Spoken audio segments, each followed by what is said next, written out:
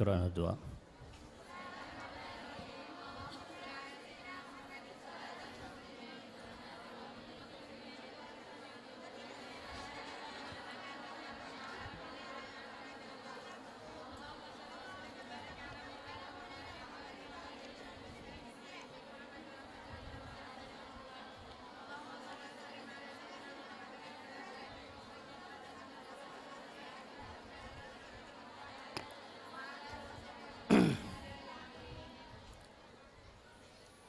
بسم الله الرحمن الرحيم الحمد لله رب العالمين اللهم صل وسلم على سيدنا محمد وعلى آله وصحبه أجمعين اللهم إنا نسألك فهم النبيين وحفظ المرسلين وإلهام الملائكة المقربين اللهم آننا بالعلم وزينا بالحلم وأكرمنا بالتقوى وجملنا بالعافية يا أرحم الراحمين نويت تعلم وتعليم وتذكر وتذكير النفع الانتفاع والإفادة والاستفادة والحث على تمسك بكتاب الله سنة رسوله والدعاء إلى الهدى الدلالة على الخير ابتغاء مرضات الله قربه وثوابه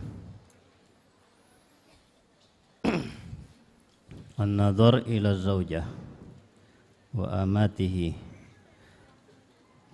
memandang kepada istrinya ataupun kepada budak perempuannya. Amatihi budak perempuannya. Jadi kita akan membahas batasan-batasan pandangan suami kepada istrinya ataupun pandangan istri kepada suaminya. Faedah yang pertama lizauji an-nadharu ila kulli badaniha ay boleh bagi suami untuk memandang kepada semua badan daripada istrinya di saat hidupnya. Keaksihi sebagaimana juga sebaliknya. Berarti sebaliknya maksudnya boleh bagi seorang istri untuk melihat kepada seluruh badan suaminya. Walau ilal farji zahiran wa batinan. Walaupun melihatnya kepada kemaluan zahirnya ataupun batinnya. Zahirnya bagian luarnya. Li'annahu mahallu tamattu'ihi karena badan daripada istri adalah tempat untuk suaminya bersenang-senang dengannya. Walakin yukrahu akan tetapi dimakruhkan likullin minhuma untuk masing-masing daripada keduanya. Nadarul farji minal akhar untuk melihat memandang kemaluannya daripada pasangannya. Jadi suami makruh melihat kepada bagian intim daripada istrinya, istri juga makruh melihat kepada bagian intim daripada suaminya. Bila haja wa min nafsihi bahkan wa min nafsihi ya dan juga kepada dirinya sendiri makruh juga. Ini di saat berkumpul suami dengan istrinya. Adapun di saat sendiri-sendiri suami sendiri atau istri sendiri di kamar sendiri melihat kepada bagian intimnya apa hukumnya? Hukumnya? Haram. Loh yang makruh tadi itu ketika kumpul suami dengan istri. Ketika kumpul suami dengan istri, suami makruh melihat bagian intim istrinya dan begitu juga sebaliknya. Dan juga makruh melihat kepada bagian intim sendiri, bagian intimnya masing-masing. Tapi di saat sendiri-sendiri artinya bukan berkumpul suami istri, melihat kepada kemaluannya sendiri tanpa ada hajat maka hukumnya adalah haram tanpa ada hajat. kecuali kalau ada hajat ya. Hajat termasuk kita mandi ya kan? Kita membersihkan bagian tersebut. Kemudian hajat kita istinja kita melihat kepada bagian tersebut. Yang hajat mencukur kemaluan sekitarnya. Kita melihat ke bagian tersebut. Itu semuanya hajat. Atau yang memberikan obat di sekitar kemaluan kadang-kadang ada gatal-gatal di situ ya biasanya anak pondok ini juga kadang-kadang ada yang juga yang gatal-gatal memberikan obat dengan melihat saat itu dibutuhkan maka hukumnya diperbolehkan. Yang tidak boleh kalau tanpa ada ha, hajat. Wa ila batinihi asyaddu karaha dan melihat bagian dalamnya, bagian dalam daripada organ intimnya. Asyaddu karoha tetap tidak haram tapi makruhnya menjadi lebih kuat. Asyaddu karoha lebih mak makruh lebih kuat makruhnya. Kemakruhannya menjadi lebih kuat. Artinya hampir mendekati ha haram, tapi tidak sampai haram.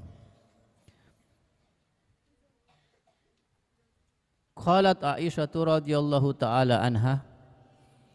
Berkata beliau Sayyidatuna Aisyah semoga beliau dan kita semua diridhai oleh Allah Subhanahu wa taala ma raaitu minhu wala ara minni Maro itu aku tidak melihat minhu darinya wala araminni atau wala ro'ah minni dan juga beliau pun juga tidak melihat kepadaku. Beliau di sini siapa? Rasul sallallahu alaihi wasallam.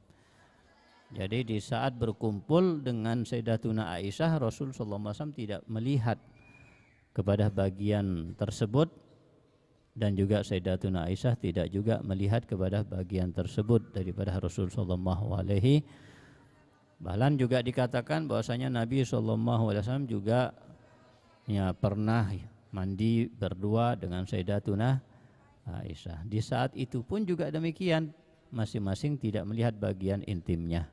Ya, jadi uh, Rasul sallallahu alaihi wasallam tidak melihat dan juga Sayyidatuna Aisyah juga tidak melihat walaupun sebenarnya itu tidak haram tapi hukumnya mak makruh.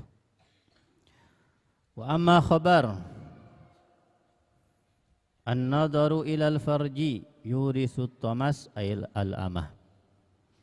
Adapun hadis yang berbunyi bahwasanya memandang kepada kemaluan yurisu tamas bisa menyebabkan tomas ay al-amah kebutaan ya, memandang kepada kemaluan dikatakan di dalam hadis tersebut bisa menyebabkan kebutaan. Kama warada kadzalik sebagaimana telah diriwayatkan hadis tersebut seperti itu. Farahu Ibnu Hibban wa ghairuhu fi du'afa. Maka hadis tersebut diriwayatkan oleh Ibn Hibban dan juga muhaddis-muhaddis yang lain fit du'afa dalam hadis-hadis yang do'if. Jadi hadisnya dianggap hadis yang do'if. Boleh apa tidak dipakai dalam hukum? Hah? Boleh apa tidak boleh? Tidak boleh. Ya, dalam fadail untuk fadilah-fadilah amal tertentu boh, tapi dalam menentukan hukum tertentu itu tidak boleh berdasarkan hadis yang dhaif harus hadisnya hadis yang sah, sahih. Nah, jadi ini kan menjelaskan tentang hukum memandang kepada kemaluan. Apa hukumnya? Suami kepada istri, istri kepada sua, suami. Nah, kalau hadis itu dianggap sahih, bisa jadi bisa jadi hukumnya tidak makruh dan berubah menjadi apa? Menjadi haram. Dan itu pendapat sebagian ulama termasuk pendapatnya Al-Imam Abi Suja Ahmad bin Husain. Ya Ahmad bin Husain yang dikenal dengan kunyahnya Abi Suja. Ya di situ kitab tersebut yang dinamakan dengan kitab uh, Matan Abi Suja dan kemudian disyarah dengan kitab Fathu uh, At-Taqrib. Ya dan disebutkan di situ bahwasanya memandang kepada kemaluan istrinya atau suaminya maka hukumnya apa? haram. Nah, ini sebagian daripada pendapat. Tapi yang muktamad hukumnya tidak haram, tapi hukumnya apa? Makruh. Bal zakarahu Ibnul Jauzi fil maudu'at. Bahkan Al-Imam Ibn Jauzi beliau meletakkan hadis tersebut itu dalam hadis-hadis yang maudhu. Bukan hanya dhaif tapi apa? Maudhu, hadis tidak ada sanatnya, hadis yang dibuat dibuat-buat. Kalau hadis dhaif itu hadis ada sanatnya. Ada perawinya an fulan an fulan an sampai nabi. Cuma ada masalah dalam salah satu rawinya atau terputus salah satu rawinya atau tidak dikenal salah satu perawinya menjadi hadisnya menjadi dhaif. Tapi kalau maudhu dibuat-buat. Nah, seiban Imam Ibn Jauzi ya, menyebutkan hadis tersebut dalam kitab yang dikumpulkan di dalam kitab tersebut hadis-hadis yang maudhu. Hadis-hadis yang maudhu termasuk disebut oleh beliau Ibn Jauzi hadis ini. Wa khalafahu Ibnu Salah. Tapi pendapat mereka itu ditentang oleh Ibn Salah. Wa hasana isnadah dan Ibn Sola ya hasana memperbagus isnadahu sanat sanatnya.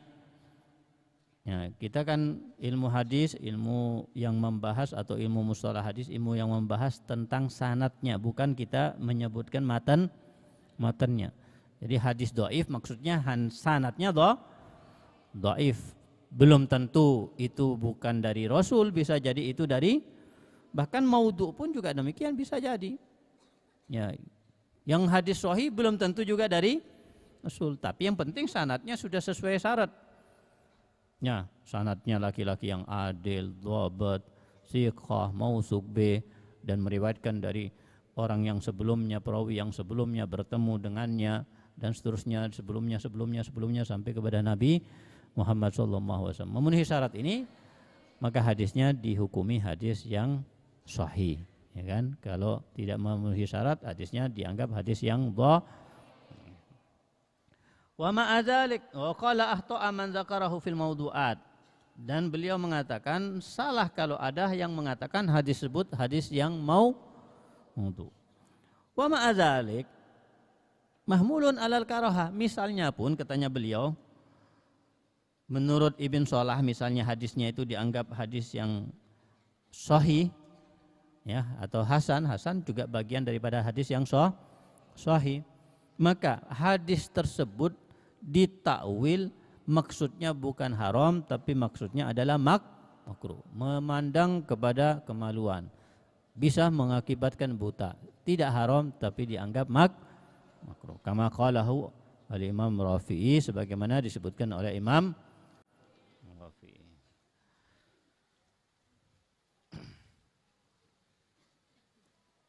Wa khassa al-Fariki al-khilafa bi ghairi jima.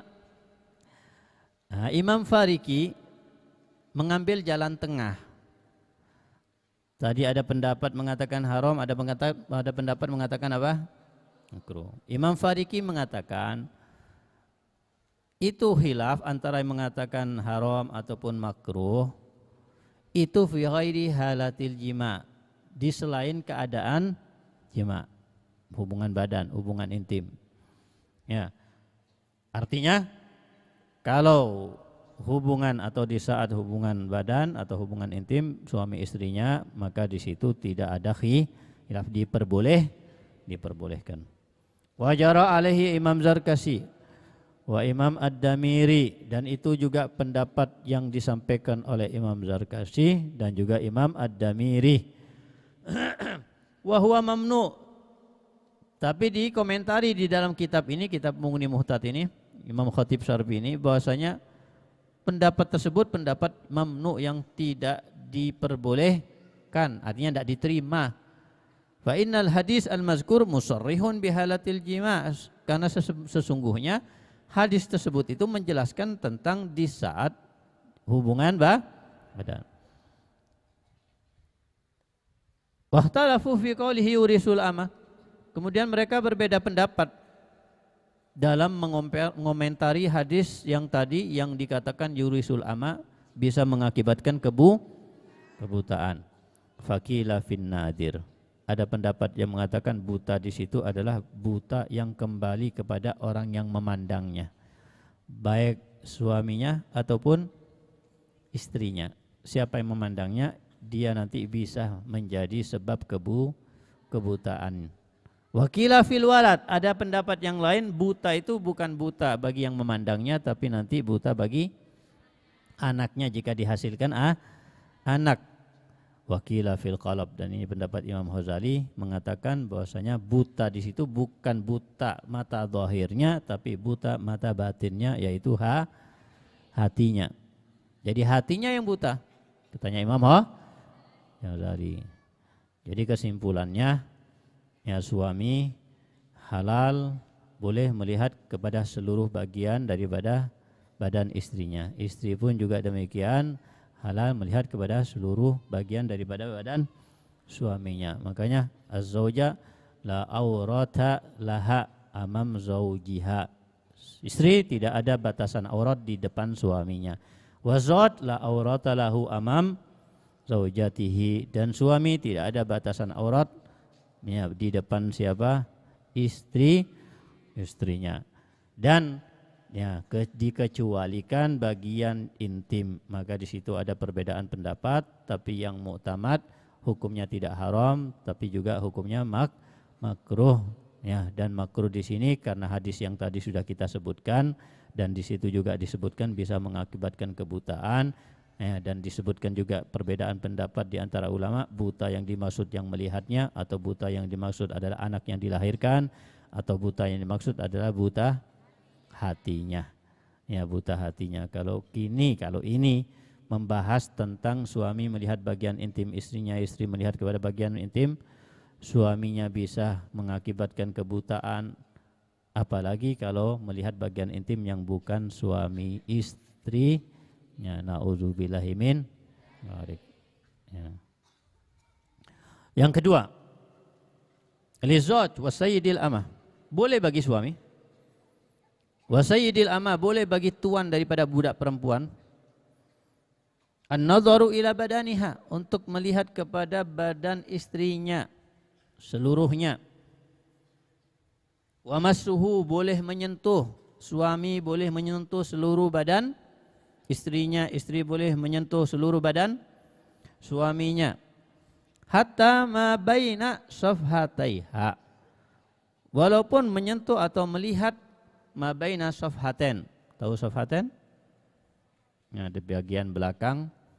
Ya, kalau kita istinja, kalau kita habis buang air besar, kita istinja membersihkan kotoran yang sisa.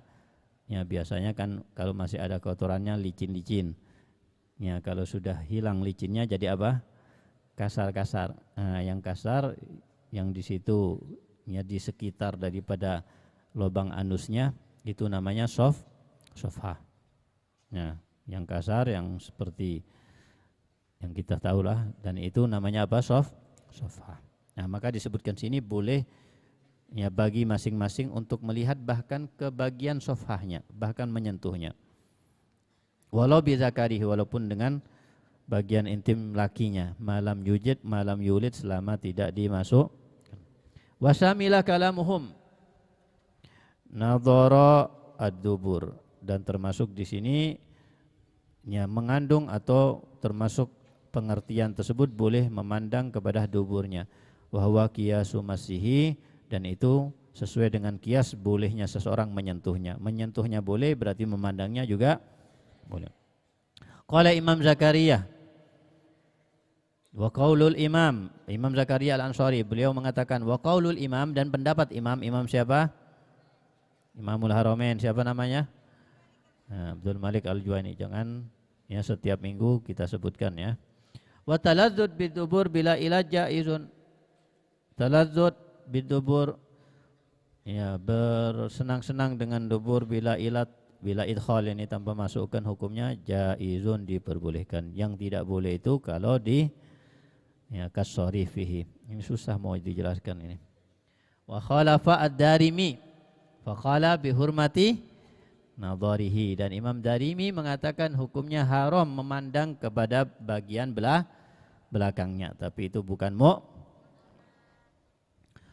Yang ketiga yukrah nadarul farji li kulli minhuma makruh hukumnya memandang kepada kemaluan masing-masing. Hatta min nafsi bahkan walaupun hanya memandang kepada bagian intim dirinya sendiri. Li ghairi hajah tanpa ada ha. Qala al imam subki wala yajri al khilaf alladhi fi an-nazar ila al farji fi masjihi fi zahir dan tidak berlaku khilaf yang ada dalam memandang kepada kemaluan fi masjihi dalam menyentuhnya tadi kan yang disebutkan uh, faedah sebelumnya itu ada khilaf dalam hukum memandang kemaluannya. Maka disebutkan di sini itu hilaf berlaku dalam memandang tapi tidak berlaku dalam menyen menyentuh. Artinya menyentuh bagian tersebut baik suaminya ataupun juga istrinya maka hukumnya tidak ada khi, hilaf tidak ada yang mengatakan haram hukumnya bo boleh lintifa illati khaufil ama karena hilangnya tidak adanya illah bisa mengakibatkan al amah waqad sa'ala al imam Abu Yusuf. Dan telah bertanya ke Imam Abu Yusuf. Abu Hanifah gurunya Imam Abu Hanifah ya. Abu Yusuf Abu Hanifah Abu Hanifah Abu Yusuf. Dikatakan seperti oleh ulama ya karena Abu Yusuf ini sangat berjasa dalam mengembangkan mazhabnya Imam Abu Hanifah gurunya ya selain juga Imam Muhammad bin Hasan ada dua yang semua ya, perkembangan daripada mazhab Imam Abu Hanifah berkat dua muridnya yang luar biasa yaitu Imam Abu Yusuf dan Imam Muhammad bin Hasan. Dan Muhammad bin Hasan ini termasuk daripada guru besarnya Imam Syafi'i. Ya, dua murid Imam Syafi'i ini. Nah, Imam Abu Yusuf sebagai murid daripada Imam Abu Hanifah, beliau bertanya kepada gurunya, apa yang ditanyakan an masir rojul farjah zaujatihi tentang laki-laki menyentuh, masih menyentuh farjah zaujatihi kemaluan daripada istrinya. Apa hukumnya menyentuhnya? Faqala Imam Abu Hanifah menjawab la ba'sa bih. Tidak ada masalah katanya Imam Abu Hanifah. Wa arju an ya'du ma ajruhuma. Bahkan aku berharap pahala keduanya lebih besar. Ya aqulu wa masuha farjaha ajwas. Dan aku mengatakan wa masuha berarti kalau misalnya itu menyebutkan tentang suami menyentuh kemaluan istrinya, begitu juga si istri menyentuh kemaluan semua uh, suaminya ajwas itu bahkan lebih diperboleh lebih diperbolehkan di annahu minal istimta al mustahaq lahu karena itu termasuk bagian daripada istimta yang berhak dimiliki oleh suami karena istimta itu sebenarnya itu adalah hak suami bukan hak Ya, suami meminta, istri menolak hukumnya haram dan dosa. Istri meminta, suami menolak hukumnya boleh, tidak haram, ya, tidak masalah. Jadi itu hak si suami. Yang keempat, mas'alatun yajuzu lil mar'ah antandura ila aurati zaujiha. Boleh bagi si istri untuk memandang, melihat kepada aurat suaminya. Wa in mana minhu inda ibn Hajar. Wa in mana'aha, siapa yang mana'aha? Suaminya, walaupun dilarang oleh semua suaminya menurut pendapat Imam bin Hajar. Jadi kalau misalnya lagi lagi ini lagi tidak pakai baju suaminya kemudian istrinya memandang suaminya melarang. Eh jangan awas lu, jangan lihat. Ya misalnya. Maka Ibn Hajar mengatakan tetap boleh lihat. Karena tidak ada batasan oh, aurat bagi istri dalam memandang ya aurat suami suami sebagaimana sebaliknya menurut Imam Ibn jadi walaupun dilarang oleh suaminya tetap si istri boh, boleh melihatnya wa indahuma ai inda Imam Romli wa inda Imam Khotib. Dan menurut pendapat Imam Romli dan Imam Khotib la yajuz idza mana'aha. Menurut mereka berdua tidak boleh istri kalau sudah dilarang. Kalau tidak dilarang tidak apa-apa. Kalau dilarang tidak boh nah, menurut keduanya berarti ada khilaf ya dan ini khilaf dalam istri memandang kepada suami. Kalau suami memandang kepada istri, walaupun istrinya melarang, suaminya tetap boleh. Tidak ada hilaf karena itu haknya suami. Yang kelima, Yajuzun nadhar ila jami' badan zaujatihi. Boleh bagi suami untuk memandang kepada seluruh badan is istri. Tapi memandang kepada seluruh badan istri diperbolehkan bagi suami. Istri yang mana? Allati yahilu lahul istimta biha. Yang halal istrinya untuk bersenang-senang dengannya. Tuh istri kan halal. Apa ada istri yang tidak halal suaminya untuk bersenang-senang dengannya? Ada apa tidak ada? Ada. Siapa itu? Nah, disebutkan sini. Fatahruju zaujatuhu al-mu'tadda min wat'i ghairihi bisubha. Maka yang tidak boleh bagi suami untuk bersenang-senang dengan istrinya di saat si istri itu menjalani iddah. Di saat menjalani. Ya tentunya kan tidak boleh kalau menjalani iddah karena sudah pisah kan berarti sudah cerai. Ini tidak cerai tapi si istri harus menjalani iddah. Oh mungkin meninggal suaminya, tidak meninggal juga tapi harus menjalani iddah. Kenapa? Karena diwatok subha oleh laki-laki yang lain, watok subha. Nah, laki-laki lain mewatok ya istrinya, dikira istrinya, ternyata bu, berarti itu kan watok subha. Nah, kalau terjadi seperti itu berarti istri tersebut harus menjalani dan tidak boleh digauli oleh suaminya. Nah, di saat itu suami tidak boleh bersenang-senang dengan istrinya selama menjalani menjalani iddah.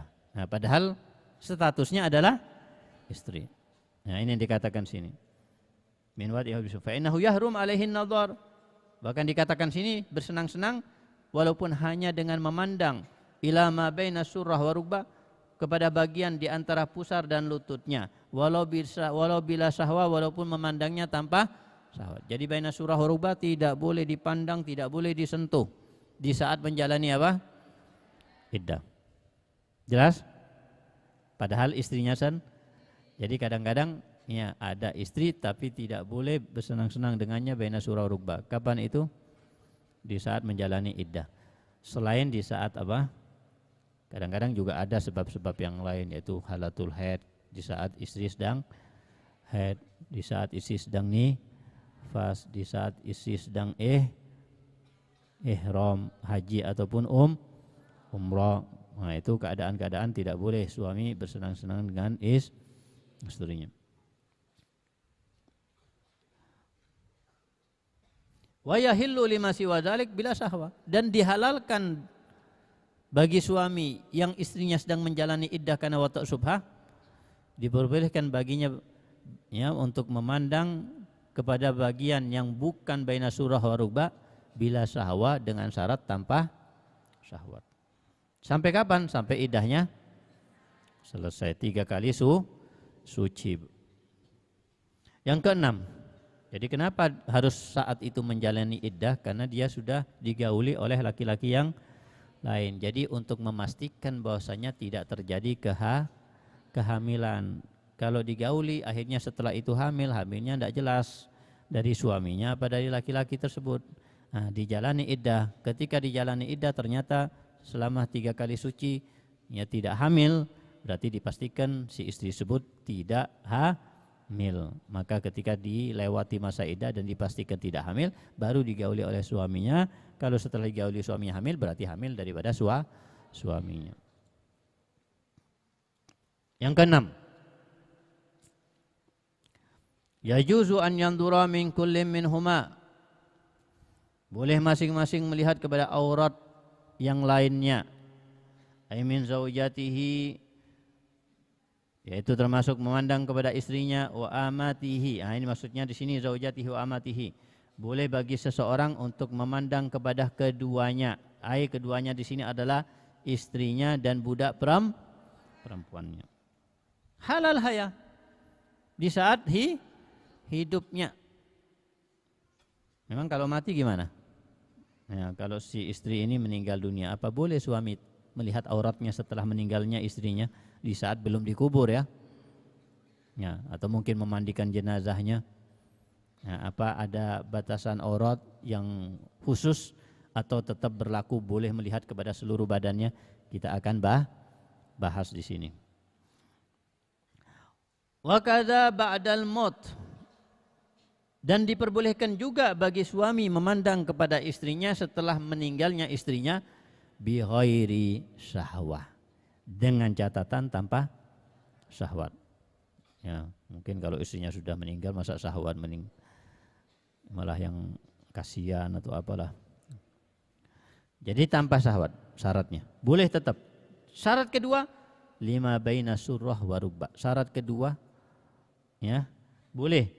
Ya, ini uh, tanpa syahwat bisubha mana tadi walau lima walau di sini bukan syarat tapi walau ya artinya walaupun walaupun lima baina surah warubba walaupun antara pusar dan lutut berarti masih boleh ya melihat dan memandang ya nanti mungkin ada khilaf ya karena ini bukan pendapat yang satu tapi ada pendapat yang lah yang lain. Jadi pendapat yang pertama ini boleh bagi suami di saat sudah wafat istrinya untuk memandang ke seluruh badan istrinya dengan syarat satu yaitu tanpa syahwat.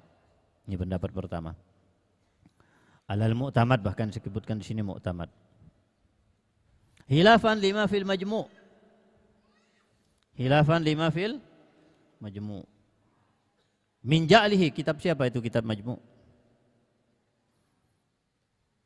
Kitabnya Imam Ibn Tidak ada yang tahu ya Imam siapa? Imam Rafi'i apa Imam Nawawi? Hah? Hmm. Yakin? Pendapatnya uh, pengarangnya adalah Imam Nawawi. Tapi Imam Nawawi mengarang kitab Majmu sampai bab riba. Sampai mana? Bab riba. Jadi kalau membaca kitab Majmu di maktabah ada kitab Majmu, ya kan? Ada apa enggak? Yang jawab pastinya yang pernah ke maktabah ya. Jadi dimanfaatkan maktabah tersebut dengan sebaik-baiknya. Kitab semuanya ada, masya Allah. Tidak perlu kalian membeli. Murojaah cari masalah apa ada kitab-kitabnya disediakan. Tidak perlu meminjam ke tempat yang lain. Dahulu itu orang-orang kadang sampai perlu pinjam kitab itu bukan hanya keluar kota sampai ke luar negeri hanya untuk pinjam kitab. Kalian tidak perlu keluar negeri cukup di tempat kalian sudah disediakan dengan tempat yang nyaman untuk membaca dengan memilih seenaknya kitab apa pun yang akan dipilih. Jadi tinggal dimanfaat kan nah, disebutkan di situ termasuk kitab yang besar dalam ilmu fikih adalah kitab Al-Majmu. Kitab karangan karya Imam Nawawi. Tapi karangan beliau ini berhenti di saat sampai bab riba karena beliau wafat sebelum menyelesaikan. Andai kata selesai sampai akhir sudah sempurna kitab tersebut tidak perlu lagi ada kitab fikih yang lain karena luar biasanya kitab tersebut Al-Majmu Nah, jadi sampai bab riba setelah itu tidak lagi dinisbahkan kepada Imam Nawawi tapi diteruskan oleh Imam Subki yang meneruskan adalah Imam Subki. Jadi kalau setelah bab riba itu Imam Subki. Nah, dan tentunya berbeda dengan Imam Nawa, Nawawi penjelasannya. Nah, disebutkan di sini bahwasanya khilafan lima fil majmu. Pendapat tersebut berbeda dengan pendapat yang disebutkan di kitab Majmu' min ja'lihi ba'dal maut kal mahram yang di kitab majmu itu menjadikan hukum melihat kepada istri sama seperti hukum melihat kepada mahramnya. Suami melihat kepada perempuan mahramnya, batasan auratnya apa? Eh? Baina surawar rupa antara pusar dengan lutut. Ya, kita bicara hukum ya. Tidak bicara etika ya. Tidak bicara adab kalau etika adab seharusnya menutup bukan hanya sampai pusar tapi sampai atas di atas dadahnya ya kan tapi hukum fikih seperti itu nah, jadi hukumnya memandang kepada istri setelah wafatnya istri maka seperti memandang kepada mahramnya dalam kitab majmu berarti boleh hanya di atas surah di atas pusar ataupun di bawah lu lutut. Di antara pusar dan lutut haram bagi suami. Jelas? Berarti ada dua pen dapat di kitab Majmu' baina surah rubah tidak boleh dilihat. Di antara atau selain keduanya boleh dilihat. Tapi kitab-kitab yang lain ulama yang lain mengatakan bahwasanya boleh melihat kepada seluruh badannya. Yang penting syaratnya satu. Tidak apa yang penting syaratnya tidak syahwat. Boleh hatta kemaluannya boleh tapi syaratnya satu tidak syahwat. Ya jadi tetap ada batasan berarti. Walaupun itu istrinya yang semestinya di saat hidupnya boleh memandang ke seluruh badannya tanpa ada khilaf. Bahkan walaupun dengan syahwat memang biasanya syahwat dan seperti itu yang disebutkan. Tapi di saat wafatnya sudah berubah hukum hukumnya. Oleh karena itu bahkan memandikan jenazah istrinya itu yang lebih afdal suaminya sendiri apa perempuan yang lain? Nah, tetap yang lebih afdal adalah perempuan yang lain, bukan sua, suaminya. Jadi tetap yang lebih diutamakan yang satu jenis dengannya. Laki-laki yang meninggal yang memandikan laki-laki. Walaupun mungkin istrinya juga boleh memandikan, boleh melihat aurat, ya atau juga uh, ya, mahram daripada perempuan boleh baina surah rubah. Ya karena yang memandikan ini kan tidak harus melihat kepada baina surah rubah, bahkan tidak dianjurkan, bahkan diharamkan. Kalau tidak ada hubungan apa-apa ya kan? Tidak boleh melihat ke baina surah waruk warukba haram hukumnya. Ya jadi memandikan berarti bukan berarti harus melihat enggak. Ya bahkan dianjurkan tidak melihat kepada seluruh badannya kecuali kalau terpaksa. Jadi di bawah kain.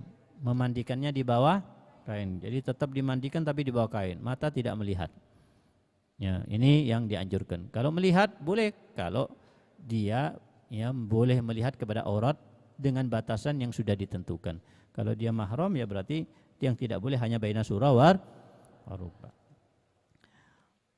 Ya, dia tu tasbih bil mahram berarti kalau disamakan dengan mahram annahu yahrum nadhar lima baina surah warubah berarti haram melihat antara pusar dan lutut min hairi syahwa tanpa syahwat.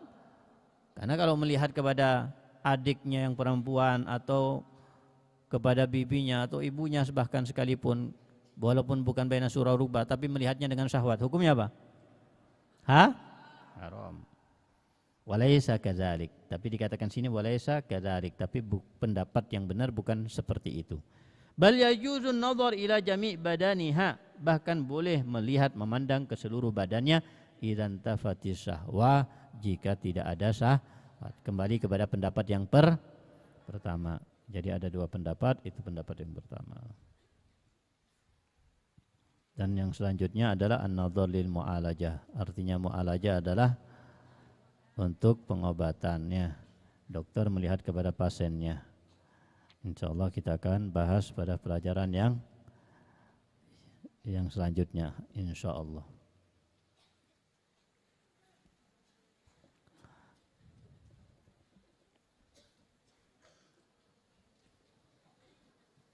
Ini Bapak apa ini? Halaman halamannya.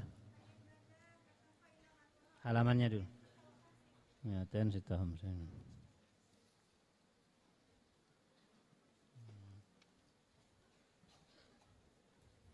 Al ibadah la tanfa. Baik, bismillahirrahmanirrahim. Alhamdulillahirabbil alamin. Allahumma shalli wa sallim ala sayyidina Muhammadin wa ala alihi washabbihi ajmain. Dibuka halaman 256. 256 Al ibadatu la tanfa'u illa ma'al wara. Ibadah yang dilakukan oleh seseorang tidak memberikan kepadanya manfaat kecuali kalau disertai dengan sifat wara. Ibadah dengan ya dengan sebanyak apa pun tapi kalau makannya makan yang haram pakaiannya pakaian yang haram, ya kerjaannya kerjaan yang haram, maka sebanyak apa pun ibadahnya tidak diterima oleh Allah Subhanahu wa taala. Jadi harus disertai dengan wara. Nanti kita akan jelaskan sejelas-jelasnya di dalam bab ini. Qala Allah Ta'ala Allah Subhanahu wa taala berfirman Ya ayuhar rusulu Hai wahai para rasul. Kulu minat toyibat Makanlah dari yang bagus-bagus. Dari yang baik-baik. Ya bukan yang enak-enak. Ya karena toyib di sini bisa bermakna lazid, bisa bermakna enak. Tapi yang dimaksud di sini bagus di sini adalah yang halal. Jadi makanlah minat toyibat daripada yang bagus-bagus artinya yang halal-halal. Wa amalu dan beramallah dengan amalan yang soleh. Ini bima ta'amaluna alim dan sungguhnya aku mengetahui apa pun yang kalian lakukan. Allah Subhanahu taala mengetahui apa yang kita lakukan di mana pun kita melakukannya, maka Allah Subhanahu wa taala melihat. Apa yang menjadi dalil yang berkaitan dengan bab ini? Maka di sini disebutkan penjelasannya. Di situ Allah Subhanahu wa taala qaddama al-akla minat thayyib alladhi huwal halal. Allah mendahulukan penyebutan makan dari sesuatu yang baik, sesuatu yang bagus yang dimaksud adalah alladhi huwal halal yaitu yang halal alal amal as-soleh mendahulukannya terhadap penyebutan amal soleh. Jadi artinya di sini makanlah makanan yang halal dan beramallah amal yang menunjukkan apa? Ihtimaman bihi menunjukkan Allah lebih perhatian, lebih mementingkan makan yang halal daripada ibadah ibadah tapi makanannya tidak ha, halal. Ya, walaupun di sini tidak dikatakan dengan huruf atof yang mengandung makna tertib kulu minat thayyibati summa amalu soliha makanlah daripada yang halal baru kalian beramal. Tidak mengatakan seperti itu beramal makanlah dari yang halal dan beramallah dengan amal yang soleh. Tapi di situ menunjukkan ketika didahulukan untuk memakan daripada yang halal Allah lebih perhatian lebih mementingkan makanan yang halal daripada ibadah Li'annal amal la yanfa wa la yurfa ila ma'aklil halal. Karena amal ibadah la yanfa tidak bermanfaat. Tidak ada manfaatnya di akhirat nanti. Wala yurfa juga tidak diangkat. Artinya tidak diterima. Illa ma'aklil halal kecuali kalau dibarengi disertai dengan makan makanan yang. Bahwa asasul ibadat maka makan daripada yang halal itu dasar fondasi daripada ibadah. Ya. Kita bangun rumah harus ada fond. Jadi kita melakukan ibadah apa pun harus ada fondasinya. Mau kita ngaji, mau kita sholat, mau kita puasa, mau kita zikir, mau kita sholawat, mau kita istighfar, mau kita dan seterusnya. Ya, sebanyak apa pun kalau tidak dibarengi dengan makan yang halal roboh. Sebagaimana bangunan tidak ada fondasi setinggi apa pun akan roboh. Oh bahannya ini kuat, semennya ini semen yang paling mahal, tapi tidak ada fondasinya. Akan? Nah, fondasi dalam ibadah itu yang lebih penting di dahu. Ya, pentingkan dulu makanan yang kita makan ini makanan dari mana. Oh, enggak tahu ya makanan dari mana. Yang penting ada di depan kita ya kita makan aja. Nah, percuma jangan banyak ibadah percuma. Ya, pentingkan dulu makanan yang kita makan dari mana baru kita pikir setelah itu. Kalau sudah jelas, oh anak punya makanan, makanan halal. Oh sudah pasti makanan makanan anak makan makanan yang dihalalkan oleh Allah Subhanahu Wa Taala. Baru mikir ibadah.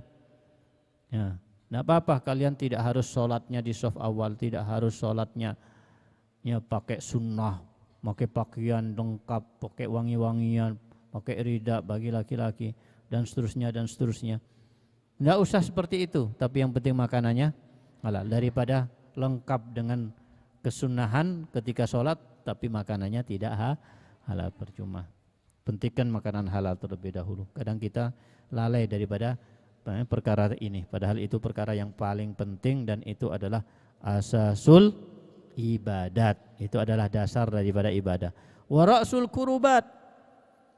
Dan itu kepala bagian paling penting maksudnya. Kita punya badan kalau tidak ada kepalanya gimana? Ya.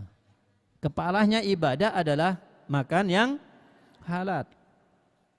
Fala syai'an minat ta'at illa bil akal minat thayyibat maka tidaklah Allah menerima uh, sedikit pun ini syai'an sedikit pun minat ta'at daripada ketaatan dan ibadah illa bil akal minat thayyibat kecuali kalau dia makanannya adalah makanan yang halal. Fil hadis dan disebutkan oleh Nabi SAW dalam hadisnya Innallaha tayyibun la yakbalu illa tayyibah wa innallaha amaral mu'minina bima amara bihil. Ini hadis fil arba'in nawawiyah ya kan?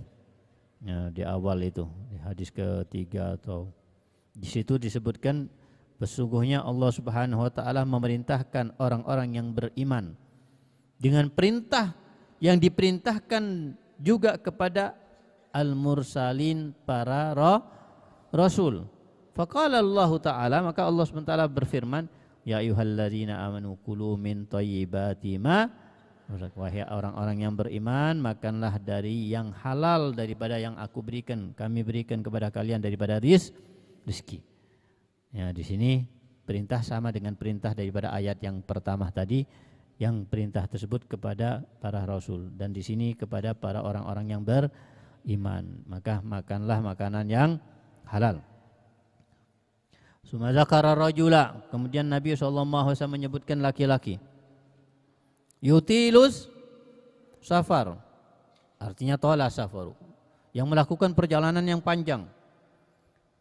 As-as apa as-as yang berantakan rambutnya tidak tersisir dengan rapi artinya berantakan rambutnya as-as aghbar yang berdebu ubar ini akbar yang berdebu ini debu di badannya, debu di pakaiannya. Ini orang yang melakukan perjalanan panjang kan seperti itu. Karena mereka kan tunggangannya adalah kuda, onta. Perjalanan yang dilalui di atas apa? Padang pasir yang disertai dengan angin yang kencang. Jadi pasti sudah keadaan orang yang musafir zaman dulu pasti sudah berdebu semuanya kocar kacir semuanya rambutnya. Kalau belum mandi merapikan badannya ya. Jadi seperti itu keadaan musafir yang perjalanannya pan panjang. As as akbar. Ya muddu yadahi ila sama. Dia mengangkat kedua tangannya ke langit, mengarahkan kedua tangannya ke arah langit. Ya Rob, ya Rob. Wahai Tuhanku, wahai Tuhanku. Wa mat'amuhu haram, wa masrabuhu wa malbasuhu haram, wa huziya fa anna yustajabu lah makanannya haram, minumannya haram, pakaiannya haram, daging tumbuh karena sebab haram, maka bagaimana dikabulkan doanya? Fa ana yustajabulah. Bagaimana dikabulkan doanya oleh Allah Subhanahu wa taala. Jadi di sini katanya ulama mengomentari hadis ini disebutkan oleh Nabi SAW perkara-perkara yang mendukung diterimanya doa seorang hamba oleh Allah Subhanahu wa taala. Pertama disebutkan safar. Doa musafir mustajab katanya Nabi. Doanya orang yang berpergian itu mus mustajab. Apalagi perpergiannya pan, panjang. Sebab dikabulkan doa salah satunya doanya orang yang musafir. Kedua as-as agbar. Kedua keadaannya dia yang berantakan rambutnya, yang berdebu pakaiannya, itu lebih dekat kepada Allah untuk diterima doanya. Karena hadis Rasul SAW bersabda, Kam min as aghbar zitimren la yu'bah la lo aksam Allah la abarrah. Berapa banyak dari kalangan manusia yang berantakan rambutnya, yang berdebu pakaiannya, zitimren yang memakai pakaian yang usang, pakaian yang tidak baik, jelek, la yu'bahlah, tidak dipedulikan oleh orang lain, doa aksam Allah kalau dia berdoa kepada Allah la abarrah maka Allah akan mengabulkan doanya. Dengan keadaan seperti itu Allah mengabulkan doanya. Disebutkan as-as akbar musafir.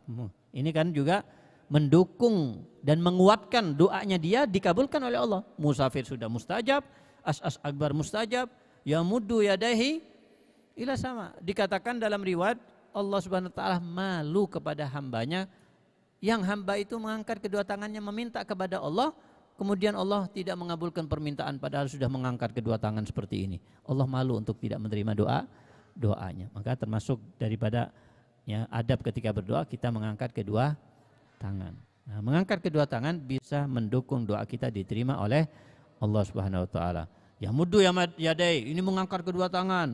Kemudian mengatakan ya Rabbi, ya Rabbi. Dalam riwayat dikatakan juga bahwasanya orang yang berdoa dan mengatakan ya Rabbi, ya Rabbi, ya Rabbi, maka Malaikat akan mengatakan kepadanya, ente minta apa aja kepada Allah, kalau ente mengatakan ya Rabbi pasti akan diterima permintaan ente oleh Allah Subhanahu wa taala. Dia mengatakan ya Rabbi ya Rabbi. Berarti berapa yang mendukung doanya dia terkabul di sini?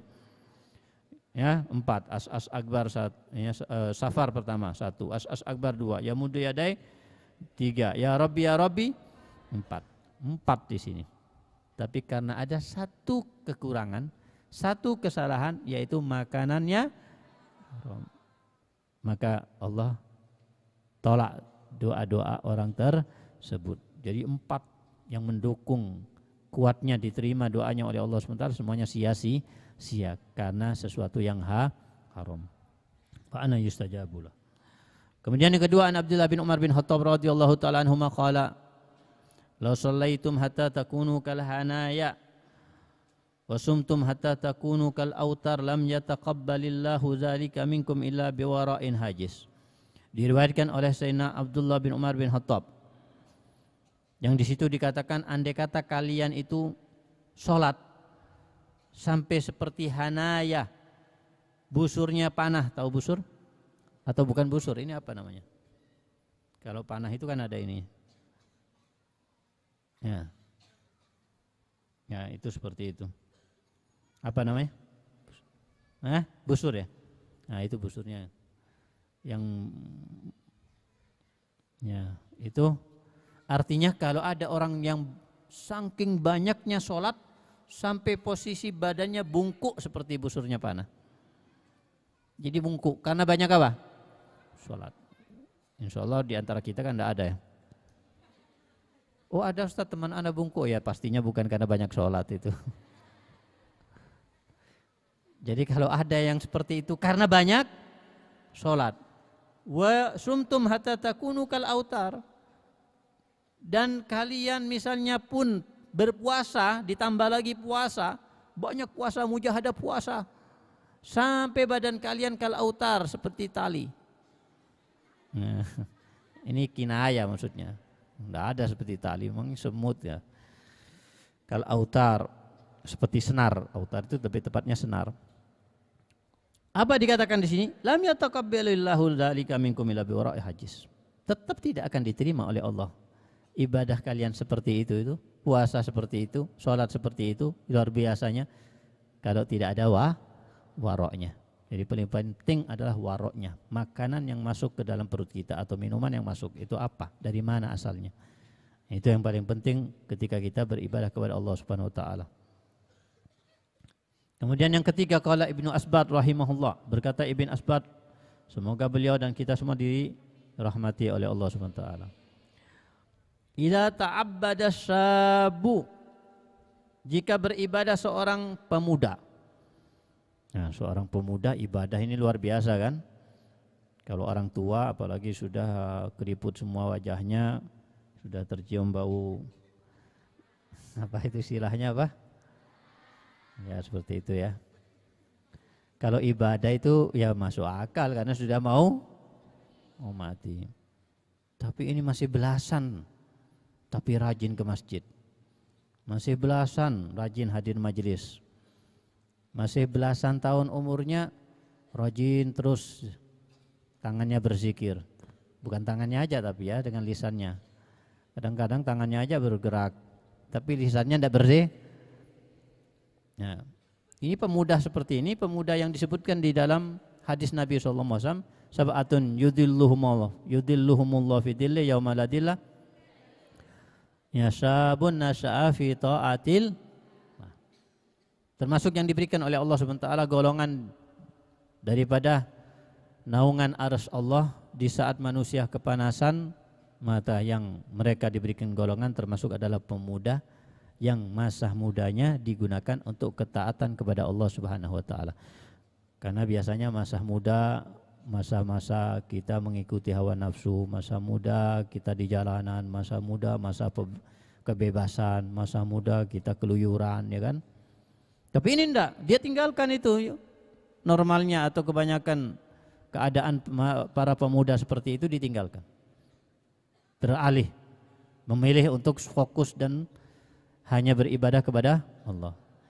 Dikatakan dalam hadis qudsi, ayu hasyab atarik syahwatahu min ajri anta indi ke ba'di malaikati. Hayo ayuhasab wahai pemuda, Atarik syahwatahu min ajri yang dia meninggalkan hawa nafsunya. Min ajri karena aku karena siapa? Karena Allah SWT hadis qudsi ini. Anta indi Anda bagiku di sisiku kaba'di malaikati sama kedudukannya seperti kedudukan malaikat-malaikatku. Masya Allah. Seperti kedudukan malaikat yang tidak pernah maksiat satu kali pun kepada Allah. Yang hanya dijalani kehidupan malaikat itu untuk beribadah kepada Allah tidak ada yang lain. Ibadah terus malaikat itu. Jadi disamakan seperti malaikat-malaikat Allah. Bagi siapa? Pemuda yang menjalani kehidupan dengan meninggalkan hawa nafsunya. Karena siapa? Karena Allah Subhanahu wa taala. Maka di sini kita katakan tadi kalau misalnya pun pemuda ini apalagi yang tua, muda aja yang luar biasa kalau pemuda ini ibadah kepada Allah, Qala syaitanu li awani, maka syaitan akan mengatakan kepada kroni-kroninya, pembantu-pembantunya, anak buahnya intinya. Unduru min aina mat'amu. Lihatlah pemuda yang giat belajarnya, yang banyak ibadahnya, min aina mat'amuhu, dari mana makanan yang dia makan? Fa in kana mat'amuhu mat'amsu, kalau makanannya makanan yang jelek, artinya makanan yang ha, haram, yakul, da'uh, yad'ab wa yajtahid faqad kafakum nafsahu. Maka tinggalkan dia, biarkan dia capek, biarkan dia ya bermujahadah atau sungguh-sungguh dalam ibadah. Cukup kalian tidak perlu mengganggunya, tidak perlu kalian menipu pemuda tersebut agar tidak ibadah karena kita semuanya tahu ibadahnya tidak akan diterima oleh Allah. Jadi tidak usah capek-capek untuk membisikkan, membujuk, merayu pemuda tersebut supaya maksiat, supaya tidak ibadah. Ya, kenapa? Ibadahnya akan menjadi sia-sia kalau makanannya makanan yang haram. Yang keempat, qala Ibnu Ruslan berkata Ibnu Ruslan fi Zubadi dalam matan Zubat. Ya, hafal? Insyaallah ya. Gampang Zubat itu. Gampang. Dan cuma seribu bed aja lebih sedikit. 1080. Seribu itu jangan wah, seribu itu sedikit orang-orang dulu itu seribu itu kayak ngafal satu bed. Jadi mereka hafalannya termasuk Syekh Amin Asinggiti kemarin menyebutkan beliau ini saat kemarin di Pondok Banin ketika beliau pertama kali datang beliau menyebutkan dia beliau dari Singgiti dari Afrika lebih tepatnya dari Mauritania Singgiti itu Mauriti Mauritania ini salah satu negara yang ada di Afrika Ya, di situ katanya beliau itu kebiasaan mereka yang belajar-belajar menuntut ilmu sampai jadi ustadz. Itu mereka hafalan itu artinya wa, sudah wajib bukan hanya disunahkan anjuran tapi wa, wajib. Dan mereka rata-rata santri-santri itu itu fikih misalnya ilmu fikih hafalannya itu 4000 nado, 4000 bed. Kita subat itu 1000 masih, 1000 lebih. Jadi harus hafal yang lain itu. Nanti dalam ilmu nahu harus 3000 bed. Dalam ilmu ya sirah ya 2500 bed. Dalam ilmu yang lain sekian ribu bed. Sampai kita orang ketawa-ketawa sendiri ini. Itu mereka biasa seperti itu. Ini di mana mereka, di mana kita. Eh, mudah-mudahan beliau tidak tahu ini keadaan kita ini kan gitu. Dia menceritakan ke tetangganya, keluarganya, murid di situ bagaimana keadaannya seperti itu. Dan anak juga tahu sendiri. Karena di Madinah, Rubat Madinah juga ada dari Singgiti guru salah satu guru yang mengajar di Rubat Madinah itu. Ya, Syekh Muhammad Fal namanya. Dari Singgiti juga aslinya, hijrah ke Madinah. Beliau Masya Allah hafalannya. Beliau punya anak kalau tidak salah delapan, semuanya hafal Quran. Abahnya juga sudah jelas abahnya. Jadi anaknya itu semuanya hafal Quran. Jadi semuanya hafal. Tidak ada yang satu pun yang tidak hafal Quran. Hafalnya mereka ketika umur tujuh tahun masih main-main tuh. Kita sendiri lihat dengan mata sendiri. Masih umur lima tahun terus dengan guru yang menyimak hafalannya itu sambil jalan sambil menyimak ya. Bismillahirrahmanirrahim sambil jalan itu. Nah, salah kurang ulangi. Kita bingung juga ini sambil jalan bisa nyetor dengan lancar. Ini orang-orang Singgiti biasa itu. Ya insya Allah kalau kita ada kemauan yang kuat dan sungguh-sungguh pasti gampang. Ya, dan menghafal itu juga ya selain kita mendapatkan ilmu dari beliau juga tapi juga juga mendapatkan ilmu dari dokter-dokter. Bahasanya menghafal itu termasuk manfaatnya menambah memori-memori yang ada di otak kita. Ya, kita kan punya otak. Memori di otak kita kan berbeda-beda kayak flash disk tahu atau kartu itu. Memorinya sama enggak? Beda-beda. Ada berapa kan? Satu giga atau MB atau satu giga, dua giga, ada yang sampai satu tera ya kan? Seribu giga. Nah, memori di otak kita berbeda-beda satu dengan yang lain. Nah, otak kita kalau digunakan untuk menghafal itu menambah memori yang sebelumnya satu giga jadi dua giga. Terus nambah lagi digunakan lagi terus tambah lama tambah menambah memori. Artinya kalau bertambah memori di otak kita, maka akan bertambah mudah kita memahami pelajaran. Dan akan bertambah mudah kita menghafal. Tapi kalau tidak digunakan untuk menghafal, berpikir, maka kita akan selalu otak kita begitu aja, tidak akan berkembang. Bahkan bisa jadi malah menurun, berkurang memori-memori tersebut. Nah itu salah satu manfaatnya. Misalnya pun kita tidak mencari manfaat yang lain daripada hafalan. Dan hanya manfaat biar otak kita bertambah cerdas, bertambah berkembang, bertambah memorinya. Sudah cukup itu dijadikan semangat untuk menghafal. Apalagi manfaatnya besar kan kita menghafal hadis, kita menghafal matan, kita menghafal Quran, kita menghafal luar biasa manfaatnya kan. Uh, Qala Ibn Ruslan fi Zubadih wa ta'atun mimman haraman yakulu misul bina'i fawqa maujin wa ta'atun dan ketaatan mimman haraman dari orang-orang haraman yakulu dari orang-orang yakulu haraman yang makan makanan yang perumpamaannya mislul bina'i seperti bangunan fauqa maujin di atas gelombang laut gelombang air yuj'alu yang dibangun bangunan dibangun di atas air. Ya, artinya gampang apa? Tidak akan kokoh, akan roh. Yang kelima, karena Sufyan As-Sauri. Berkata Imam Sufyan As-Sauri. Rahimahullah. Semoga beliau dan kita semua dirahmati oleh Allah Subhanahu wa taala.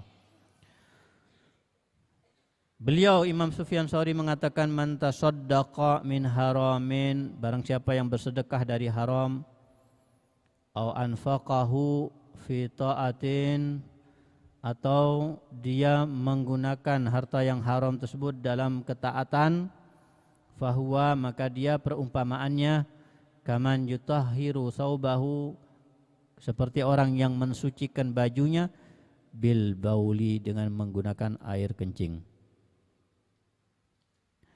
Jadi kerjaannya haram, dapat uang dari haram, habis mencuri, habis kerja kerjaan yang haram, riba, habis zina, dapat uang, habis jual miras, dapat uang, habis korupsi, merampok, menipu, khianat dan lain sebagainya dari bentuk rizki yang haram, kemudian dapat banyak uang sekian M digunakan untuk haji dan umrah. Digunakan untuk haji dan umrah. Maka haji dan umrohnya pertama tidak akan diterima. Ya dan kedua menambah begitu juga disumbangkan ke pesantren. Percu nah, digunakan membantu fakir miskin ad-du'afa percuma. Maka diperumpamakan oleh Imam Sufyan Saudi dulu. Ini kan ibadah bagus haji umroh nyumbang pesantren nyumbang orang-orang yang lemah fakir miskin. Diumpamakan seperti orang yang bajunya najis kemudian mau mensucikan. Pakai apa? Pakai air kencing. Suci enggak yang ada tambah apa?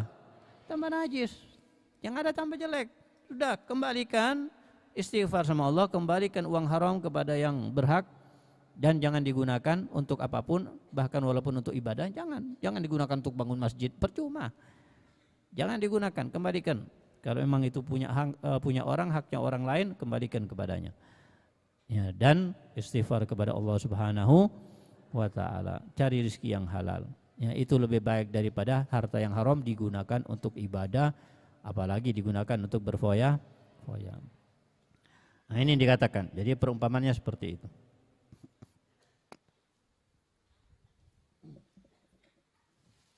Ruya marfu'an ila Rasulillah sallallahu alaihi wasallam diriwayatkan dalam hadis yang marfu kepada Nabi sallallahu alaihi wasallam, manistara sauban bi asrati darahim."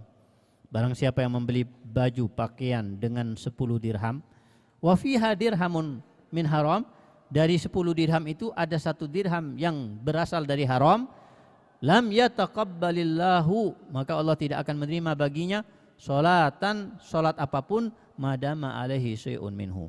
Selama ya orang tersebut memakai pakaian tersebut yang dibeli sebagiannya dari uang yang apalagi semuanya dari uang yang jadi ya percuma sholatnya artinya. Yang ketujuh, innallah innalladzi yahujju bil malil haram la yata, la yaqbalullahu hajjah. Ini semuanya merujuk kepada ya eh, judul daripada bab kita.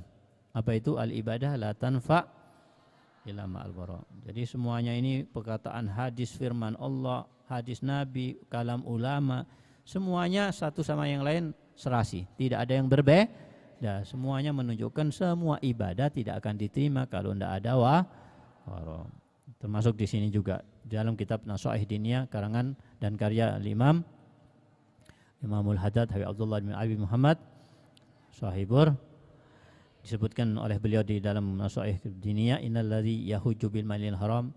Orang yang haji atau umrah pakai harta yang haram. La yaqbalallahu hajjah. Allah tidak akan menerima hajinya Fa idza labba inda ihramih dan kalau dia bertalbiyah ketika ihramnya apa talbiyah? Labbaik Allahumma Ya, di situ kan labbaik Allahumma labbaik artinya apa ya Allah aku datang menerima atau memenuhi panggilan Anda. Jadi artinya di situ labbaik aku datang memenuhi panggilan Anda, memenuhi panggilan Allah. Kita kalau haji berarti kita dipanggil oleh Allah. Ketika di, sampai di Mekah kita dianjurkan mengucapkan itu ya Allah aku sudah datang untuk memenuhi panggilan Anda ya Allah.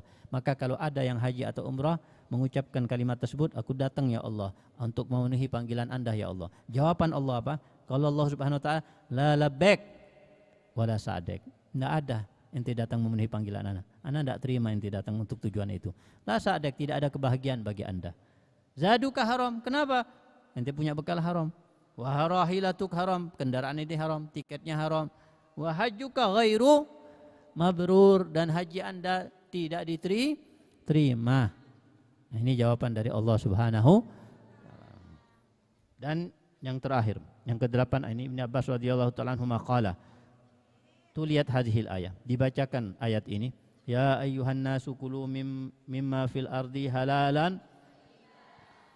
Ya, Wahai manusia, makanlah dari apa yang berasal dari bumi ini, tapi yang halal yang baik. Dibaca ayat ini indan Nabi sallallahu alaihi wasallam. Sa'ad bin Abi Waqqas. Kemudian Sa'ad bin Abi Waqqas berdiri dan mengatakan kepada Rasul, "Ya Rasulullah, ud'ullah ta'ala an yaj'alani mustajabat dakwah."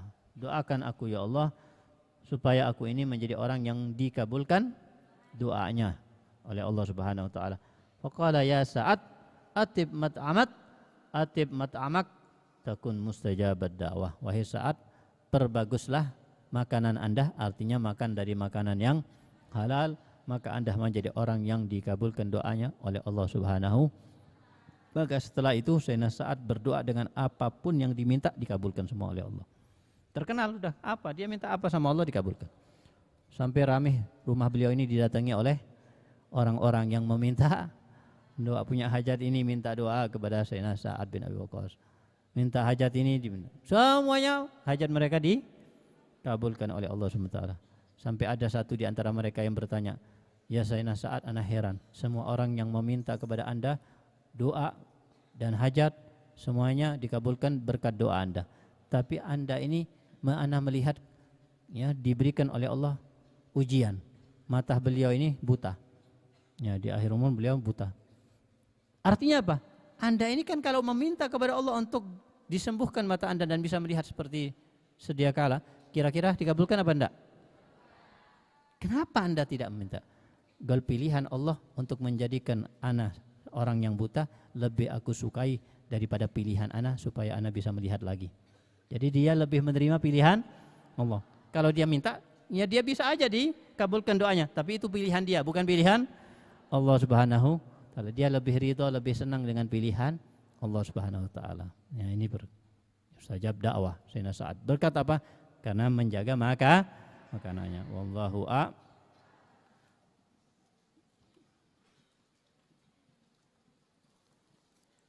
Ada pertanyaan nanti insya Allah yang akan datang kita jawab. Al-Fatihah Allah Subhanahu wa taala faqihna fid din wa alimna ta'awil zukna wa lakum fahman nabiyyin وأن الله سبحانه وتعالى جعلنا إياكن وجميع طلاب الطالبات من العلماء العاملين من الدعاة المخلصين كرد بهم أن يسعد المرسلين من الهادين المهتدين ومن المحبوبين إلى سيد الأولين من الفائدين بالنظر إلى وجهك الكريم. وأن الله سبحانه وتعالى يرفع عن أن وأن المسلمين وأن هذه الأمة المحمدية الوباء بلا مراد والأسقام وأفات وأحد والجر والظلم وفتن مهن. وأن الله يشفينا يشفيكم يشفي مرضانا من جميع أمراض قلبية وقلبية الظاهر والباطن يجي جميع حاجة سهل جميع أمور بل جميع مقاصد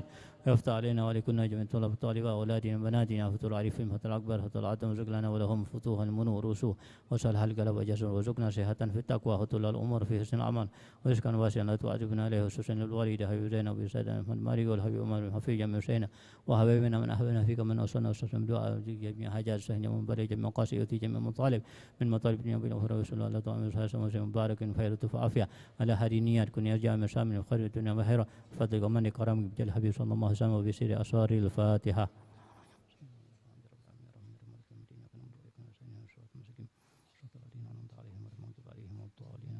Ya Rabbana tarafna